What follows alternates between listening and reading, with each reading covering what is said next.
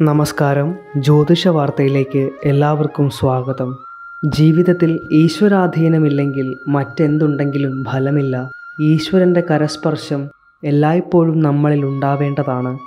നീണ്ട യാത്രകൾ നടത്തുമ്പോഴും മറ്റും ഈ നിയന്ത്രണ കരങ്ങൾ നമ്മുടെ മേലുണ്ടായിരിക്കണം ജോലി സംബന്ധമായോ വിനോദ സംബന്ധമായോ യാത്ര ചെയ്യേണ്ടി വരുമ്പോൾ അപകട സാധ്യതകൾ കുറച്ച് ലക്ഷ്യപൂർത്തീകരണം നേടുന്നതിനായി ചില കാര്യങ്ങൾ ശ്രദ്ധിക്കേണ്ടതായുണ്ട്.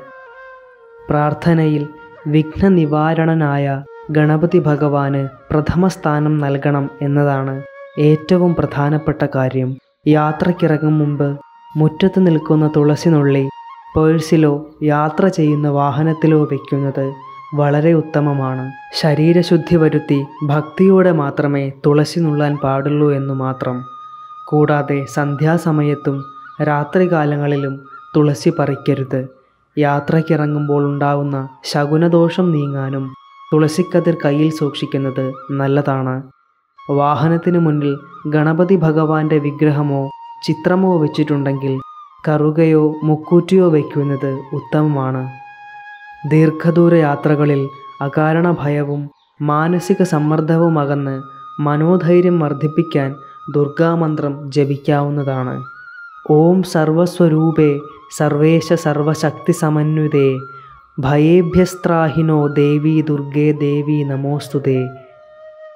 യാത്രാവേളയിൽ അപകട സാധ്യതയും ധനനഷ്ടവും ഉണ്ടാവാതിരിക്കാനും കാര്യസിദ്ധിക്കും യാത്രലക്ഷ്യപ്രാപ്തിക്കും ഈ മന്ത്രങ്ങൾ ജപിക്കാം. അഗ്രതോ നരസിംഹോ മേ പൃഷ്ഠതോ ഗരുഡധ്വജ. പാർശ്വയോസ്തു ധനുഷ്മന്ദൗ സകരോ രാമലക്ഷ്മണൗ.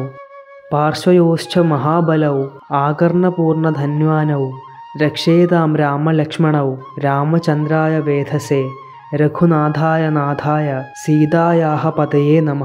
കൂടുതൽ വീഡിയോകൾക്കായി ജ്യോതിഷ വാർത്തയുടെ യൂട്യൂബ് ചാനൽ സബ്സ്ക്രൈബ് ചെയ്ത ശേഷം ബെല്ലൈക്കൺ ക്ലിക്ക് ചെയ്യൂ.